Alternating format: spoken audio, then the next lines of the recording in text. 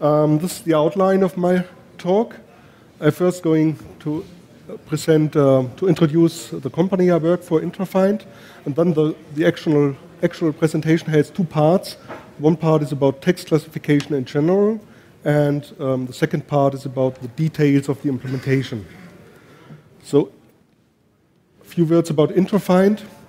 Um, we are experts for enterprise search and search driven applications. And besides search, we offer text analytics components like morphology, named entity recognition, classification, clustering. So, besides search, we do tagging, semantic linking, and stuff like that. Um, we have about 30 employees. We're based in Munich. Most of our customers in German speaking countries. And we are a product company. So our products are a combination of open source components like Lucene and in house development. So, text classification.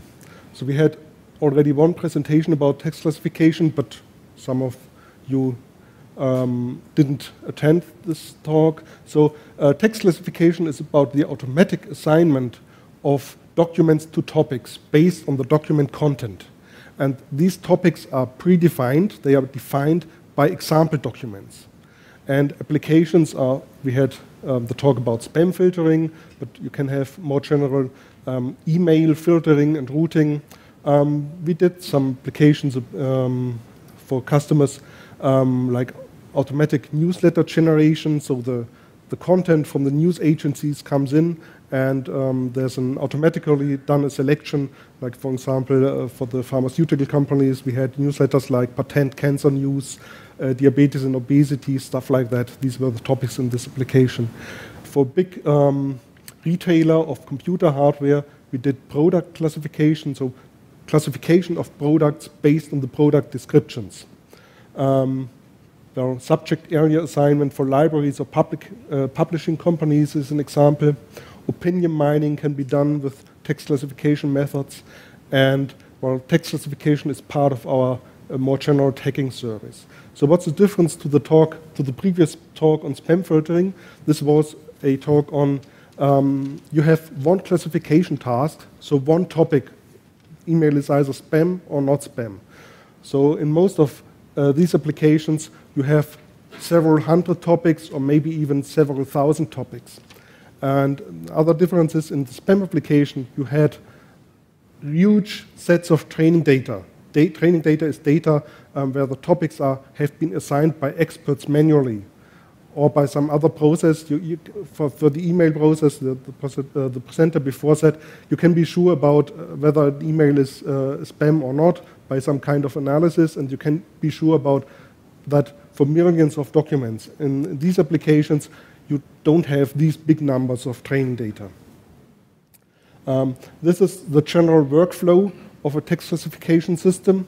Um, you have the learning phase in which um, you present the example documents to the system, and the result of the learning phase are classification rules. So one rule for each topic.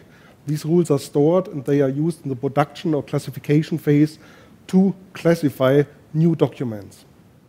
And um, if we look at the learning phase, um, uh, we see three, we can identify three different um, steps. Um, since uh, classification is um, also based on, on, on, the bag of words model, um, you have to use some tokenizer or, or, or an analyzer to do the classification. And you need a feature extraction step, and after that, you have the actual machine learning or pattern recognition step that produces the classification rules. And here I listed the lessons that we have learned during the last, let's say, eight to 10 years of doing text classification for our customers. Um, analysis or tokenization can matter. Um, so it depends a little bit on the kind of classification you want to do.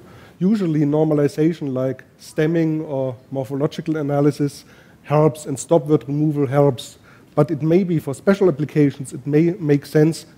Stop words may contain information, so they may be important, but for most content based classification, they are usually not. Um, feature selection. Well, um, it is important to do feature selection but um, which kind of um, selection, which, which kind of measure, which kind of method you use is not so important. It might even be a simple TF-IDF measure. You can use um, statistical methods like covariance or um, chi-square, or you can use information theoretic measures like mutual information. What is important is that you not stick to single words, that you also um, uh, have the possibility to ident identify phrases or multi-word phrases um, that could be important for the classification task. And it's important to not only regard positive correlation, but also negative correlation. That is, uh, it may be important for a classification task that specific words don't occur in the document.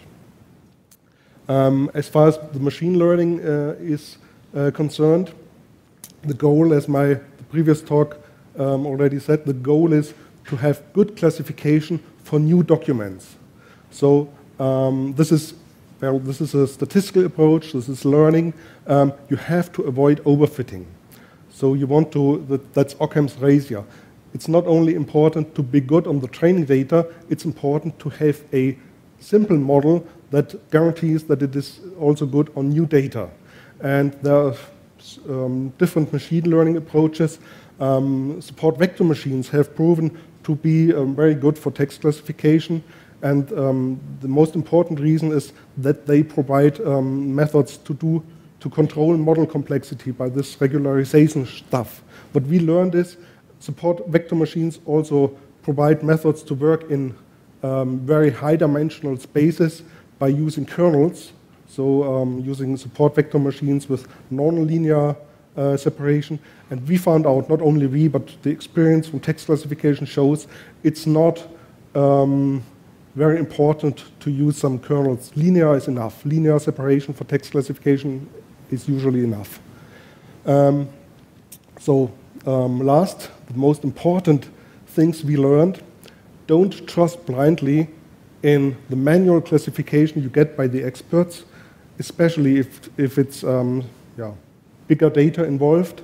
And don't trust blindly in the rules that you get by the statistics, by, by the machine learning approach, by your support vector machine, for example. Um, it's important to test, test, test, test. And so here's a list of features that are required for an automatic text classification system. You need a training and test graphical user interface. Um, which is not only um, useful for yourself, but um, which you can also give to some experts from the, from the field to control, to verify the classifications. And um, as I said, don't trust the data, don't trust the annotations you get by the experts. You have to provide methods for automatically identifying inconsistencies in your training data. For example, you might um, get a document, a document twice with different topic assignments by your customers. Or you might get very similar documents with different topic assignments by them. So um, you can use um, the more like this uh, method uh, from Lucene, for example, to identify similar documents and to check whether such similar documents have um, the same topic assignments in, the, in your training and, and, test data. And what is also very important to just to be able to see how good your classification will be on new data, either um, save some annotated data exclusively for testing or use cross-validation. And if you cross, use cross-validation, um, well, you have a lot more computation to do, so you um, should use uh, multi-threaded implementation for the whole learning stuff. I said classification rules have to be readable. Um, that is, um, we try to keep our rules as simple as possible, and um, we don't just automatically generate the, the rules, do some testing and use them. We also look into the rules if they, they look reasonable from some, uh, also for humans. And um, this is, for example, how rules look like in our case. This is the product classification example, and um, you see the rules to identify servers, the rules uh, to identify workstations, and so on. And um, what is also important is if you have done your training, you have to compare your classification, the, the results of your classification rules on training and test documents with the, result, uh, with the annotations given by humans. And uh, there will be differences, so the rules won't be perfect. And then, um, if you want to get a higher quality, you have to go to your customer again and check with, your, with the experts there whether the classification whether either the classification produced by the system is the better one or the classification they originally assigned. And stuff like that helps. For example, this is for the pharmaceutical newsletter for the patent cancer stuff. And with the highlighting, um, you see um, words that contributed, um, the, the, words in blue um, are features um, that, well, that uh, the system used to say the document um, seems to fit into the newsletter, while the words in red um, are negative correlated words.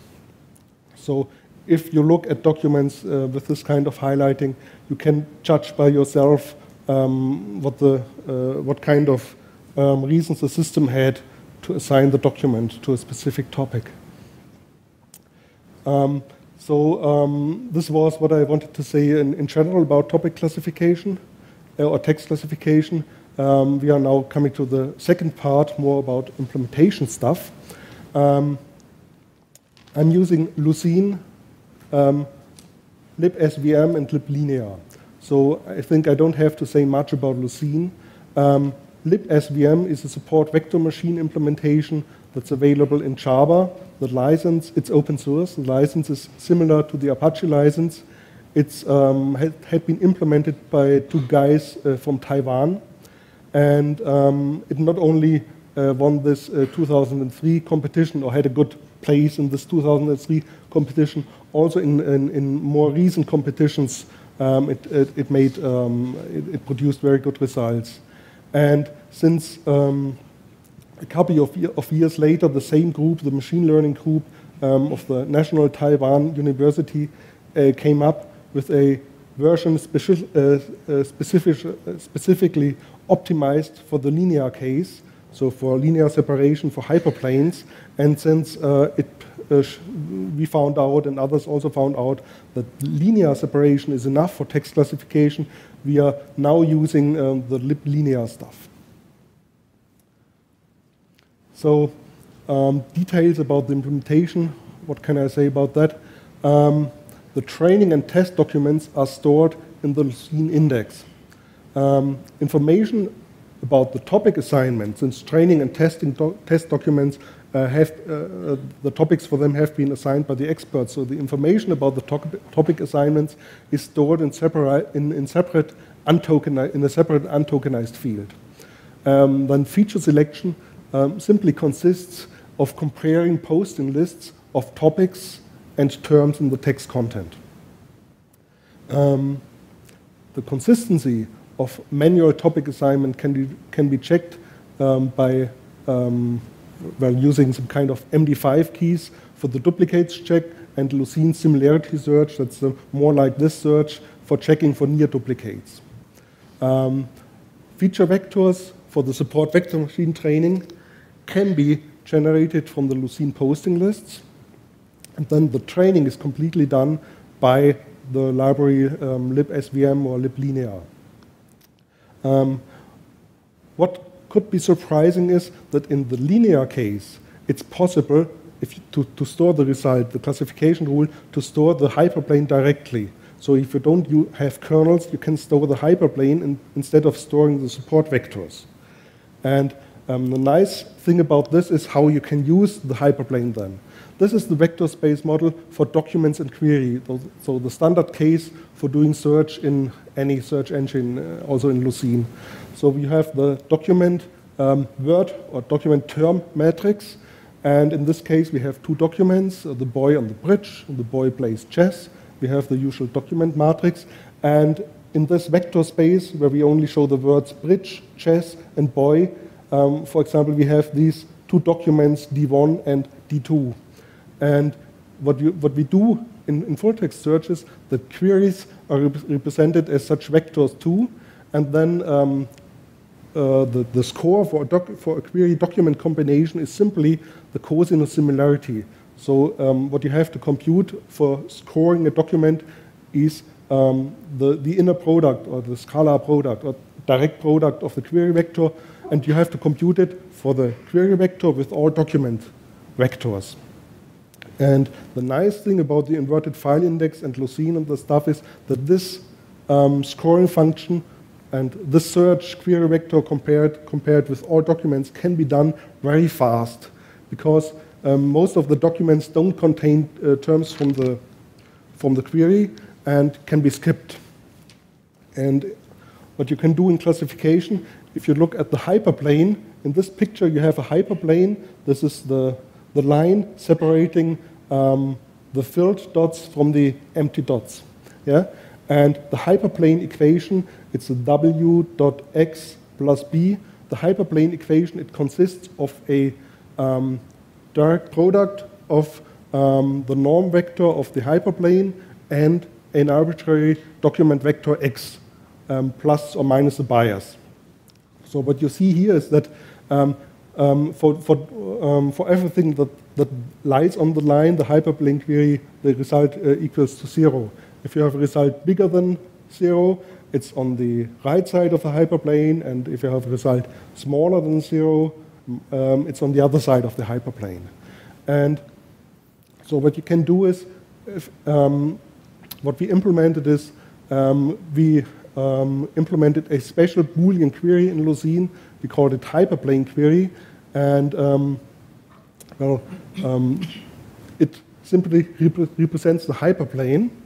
And um, what is special about, is, about it is no coordination factors, no IDF, no query norm. And um, well, the nice thing it allows is um, if you have an index of maybe millions of documents, and the index, if it has been built with the same analyzer um, that had been used for training the classifier, you can just use the hyperplane query applied to the index and classify millions of documents just by applying one query. And if you want to classify one document, you have to build a one document index, maybe in memory, and, the, and apply the classification queries. So um, this thing is very fast in batch classification for millions of documents. It's as fast as indexing the documents. Um, but um, what happens if you have not only several hundred uh, topics or classification rules, what happens if you have maybe for patent classification 80,000 classification rules? So the, in this case, this approach doesn't seem to be practical again, having one document and, applying 80,000 queries to it, to one document index, one after the other. And in this case, um, you can invert the whole picture. Instead of having a queries that are applied, um, classification rules as queries that are applied to the document, um, you can um, invert the document, um, produce a query from the document, and have all these 80,000 queries stored in an index. And the only thing um, you have to do is um, you have to store the boosts for the individual terms somehow in the index, and for that you can use payloads. So that's it. Questions?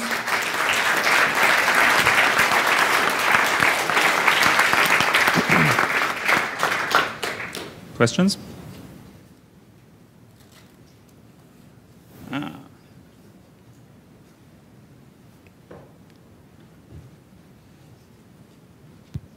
So you're using uh, the more like this feature of Lucene to find out double, or let's say similar, very similar words or similar documents. Similar, docu similar documents, yeah. Mm -hmm. But I mean, how do you do this? Do you do it in a, in a batch kind of way? So you you know go through all the documents, see if the new document yes. that has been indexed is already there. Yeah. And and then what are you using to find really out? Is it uh, something like um, uh, the distance, the edit distance, or what are you um, using then? Um, actually, um, for a long time there is this uh, more like this feature in Lucene, and it works like um, from the document um, you select by using TF-IDF the most important terms of the document, and construct a Boolean query of all these words, and uh, do search on the index. And um, the documents with the highest score that you get back are those similar to the documents uh, that constructed the query. And what we do is uh, actually we go through all the the annotate we, we, we index um, the data we get from the customer to um, the, the, content together with the topic assignment. And then we go through all these iterate over all these documents do a similarity or, a, or a more like this search for each of them. And if we get hits um, for, for one of the, the documents um, above a certain score and if these hits have other topic assignments than the original uh, query document, um, then we can either try to solve this conflict automatically by just aggregating the topics, or we can ask the expert. Yeah, that's it. Um, just a short question: Is the source code of this uh, of this available? No, it's not. Um, it's not open source. It's um, as I said, we are a product company, so we build products based on open source and our own stuff, and um, this is uh, unfortunately not open source.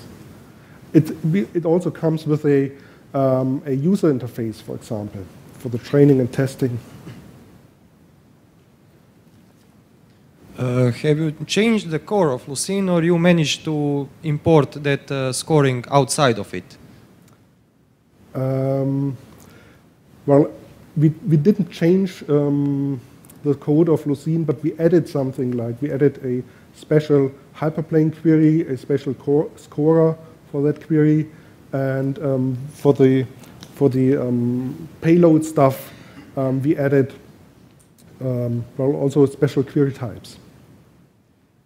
But we didn't change uh, anything in, in Lucene. Okay, then thanks again to the speaker.